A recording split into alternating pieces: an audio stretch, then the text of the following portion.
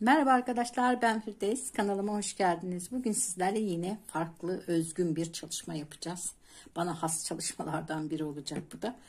Ee, değişik bir çalışma çok da istek aldı bu çalışma. Şimdi beyaz ipim arkadaşlar büyük 400 gramlık falan da herhalde çok önceden almışım. Bu şekilde bir ipti arkadaşlar. Şimdi e, bunları da yeni aldım. Bunlar da e, yine 50 numara diye satılan iplerden. Bunlar 20 gramlık. Şimdi 5-6 tane aldım. Ben tam olarak ne kadar gideceğini bilmiyorum ama videonun sonunda ne kadar ip gittiğini söylerim size. Şimdi bu işimizi yapmaya başlıyoruz. Mutfaklarımızı şenlendirecek bir model. Şimdi iki kat beyaz, bir kat da e, menekşe rengi diyebileceğim. Bu renkten koyarak çalışıyorum arkadaşlar. Onun için tığımda 7 numara 1.3 milimetreymiş. Şimdi bununla modelimizin yapılışına geçiyoruz. Evet arkadaşlar 3 katlı ipimi aldım. Başlangıç kısmını yaptım. 1 2 3 5 6 çok sıkı olmasın çok da gevşek olmasın zincirleriniz 7 8 9 10 84 tane zincir çekeceğim arkadaşlar. 11 12 14 15 Evet arkadaşlar şimdi 84 tane zincirimizi yaptık. Düzgünce tutarak ilk zincirimize batacağız.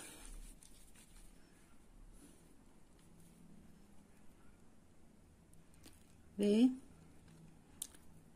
ipi de üstten geçirtiyorum şu şekilde. Kaydırmalı ilmek yaparak toparlıyorum. Sonra bir tane zincir çekiyorum. Bu zincirin altından geçerek bir tane zincir çekiyorum. Üstünden bir zincir. Alttan bir zincir üstten. Alttan bir zincir üstten bir zincir. 6 tane zincirim oldu. 7 bunları yapmayayım artık. Bu kenarda kalsın.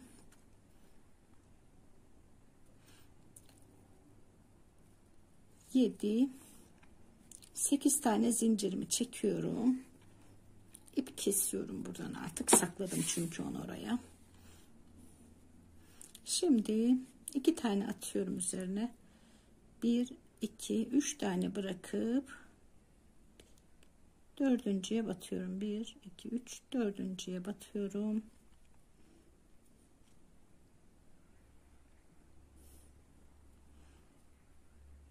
Üç seferde çekiyorum. Bismillahirrahmanirrahim. 1 2 3 tane zincir çekiyorum. 1 2 tane atıyorum. 1 2 3 dördüncüye batıyorum arkadaşlar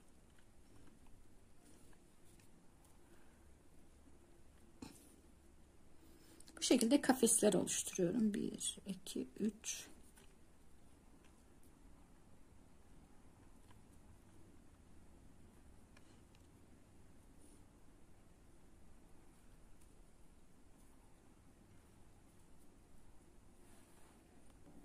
Evet arkadaşlar 3 6 9 12 bir dakika 3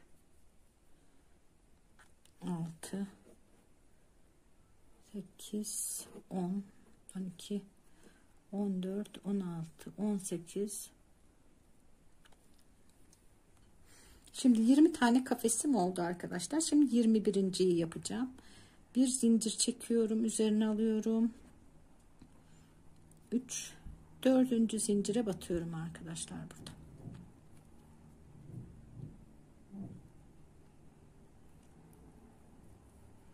İkide de çekiyorum.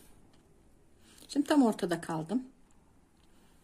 1, 2, 3, 4, 5, 7, 8, 9 tane zincir çekiyorum. Ortaya batıyorum.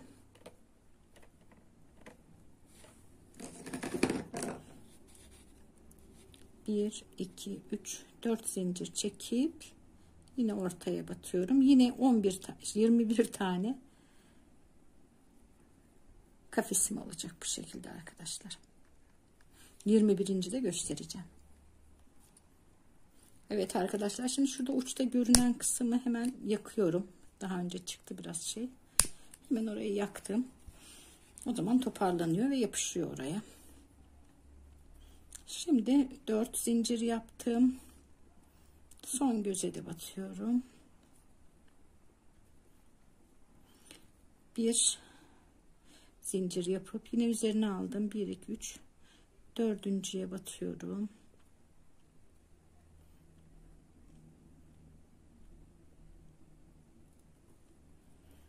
Bir, iki seferde çekiyorum yine. Yine ortada kaldım. Bir, iki, üç, dört zincir çekiyorum. Üzerine iki tane sarıyorum. Yine aynı yere batıyorum.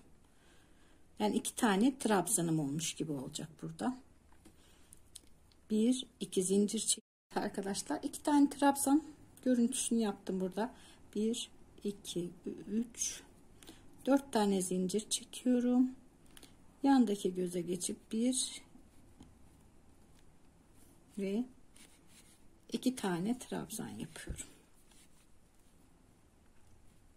1 2 3 4 zincir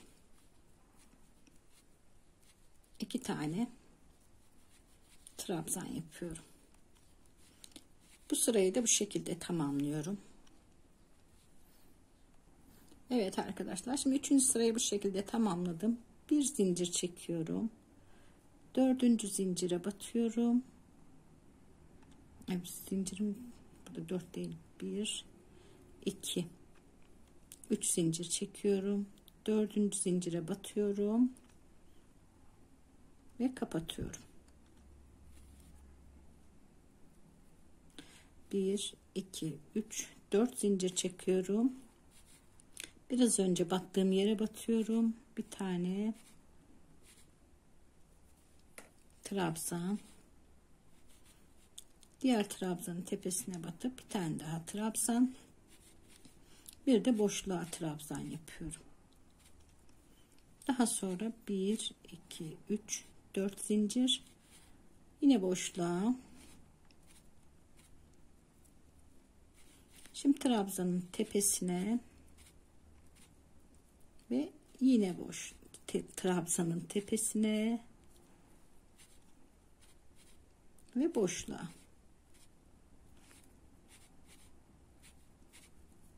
Şimdi arkadaşlar bakın bu şekilde. İki tane trabzan dört tane trabzana çıkarttım. Arada dört zincir yapıyorum yine. Bir iki üç dört şimdi bu sırada dört dörder tane trabzanım olacak. Aralarda dörder tane zincirim olacak yine.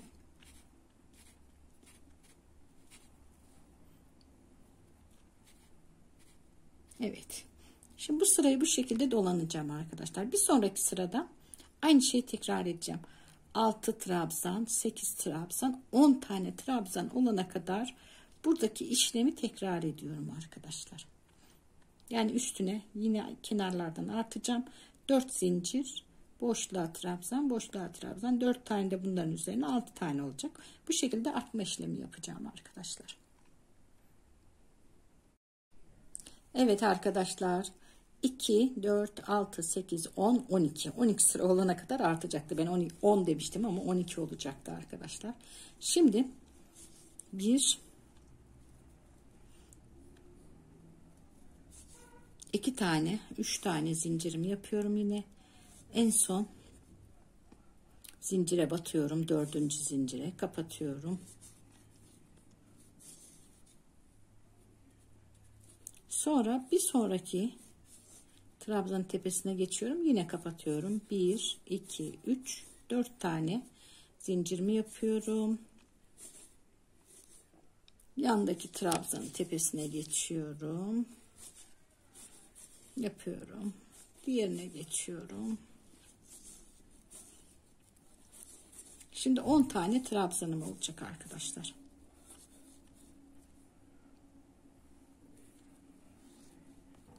Evet arkadaşlar şimdi bir tane kaldı burada trabzanım. 10 tane trabzanı yaptım. 1 2 zincir yapıyorum.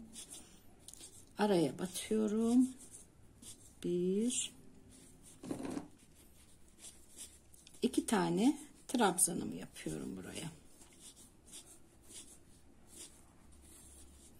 Sonra bir iki zincir yapıp yine bir taneyi bırakıyorum. ikinciye geçiyorum. 10 tane trabzan yapıyorum. Şimdi buraya kadar arttırma işlemi yapmıştık arkadaşlar.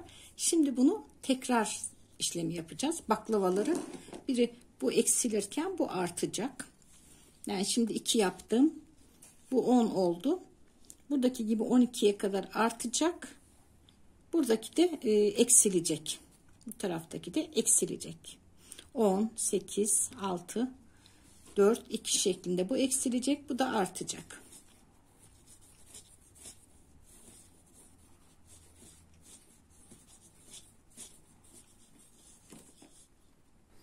Evet arkadaşlar şimdi sıramızın sonuna geldik. Bir zincir yapıyorum. iki zincir yapıyorum. Dördüncü zincire batıyorum. Kaydırmalı ilmeğimi yapıyorum.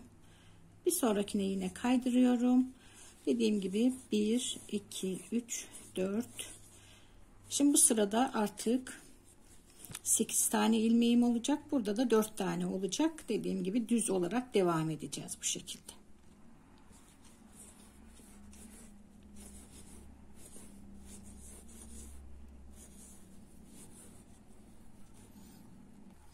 Evet arkadaşlar görmüş olduğunuz gibi bu baklava eksilecek. Burası da artacak. Baklavalar birbirinden geçerek devam edecek bu şekilde. Dümdüz damacanamızın bu üst kısmıydı. Alt tarafını dümdüz olarak aşağıya kadar devam edeceğiz arkadaşlar.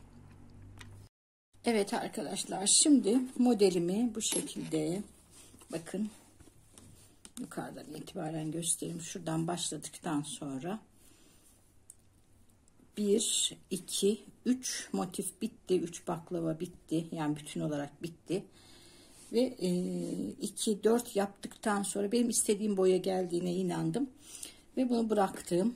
Bunu tersinden, ters tarafından ütüledim. Nasıl ütüledim? Bakın buharım 2'de ve e, şu biraz daha aşağıdaydı. Evet şu şekilde ütüledim arkadaşlar ben bunu.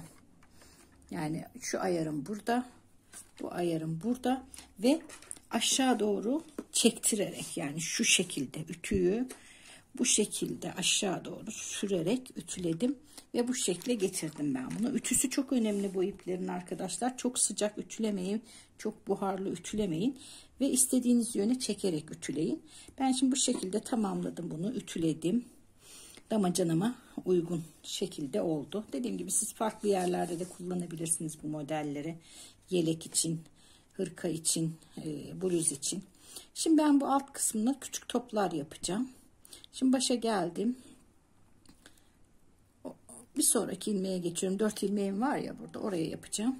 1, 2, 4, 5, 6, 7, 8, 9, 10, 11, 14, 15, 16, 17, 18, 20, 21, 22, 23, 25, 26, 27, 28, 29, 30, 31, 32, 33, 35 tane zincir çekiyorum ve birinci zincirim duruyor ikinciye batıyorum. Bir sık iğne bir tane daha aynı yere sık iğne sonra yandakine geçiyorum bir sık iğne tekrar sık iğne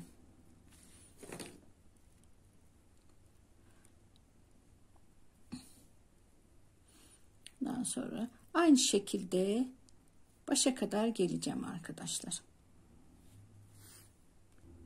Evet arkadaşlar şimdi zincirin sonuna kadar geldim.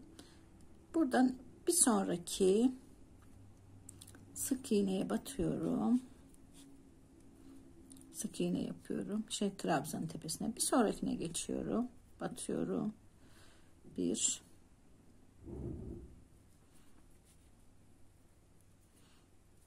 iki tane daha yapıyorum. Şimdi dört tane sık iğne yaptım arkadaşlar. Tekrar 1, 2, 3, 5, 6, 7, 8, 9, 10. 11. Aynı şekilde bunu yaptığım gibi yapıyorum. Aralarda da 5 tane sık iğne bırakarak devam edeceğim. Etrafını dolanıyorum arkadaşlar bu şekilde. Evet arkadaşlar bu şekilde damacananız içinde bir e, kılıf e, güzel bir örtü hazırlamış olduk. Yani mutfaklarınız çok şık dursun istiyorsanız böyle görüntüsünden hoşlanmıyorsanız sizler için güzel bir aksesuar yapmaya çalıştım.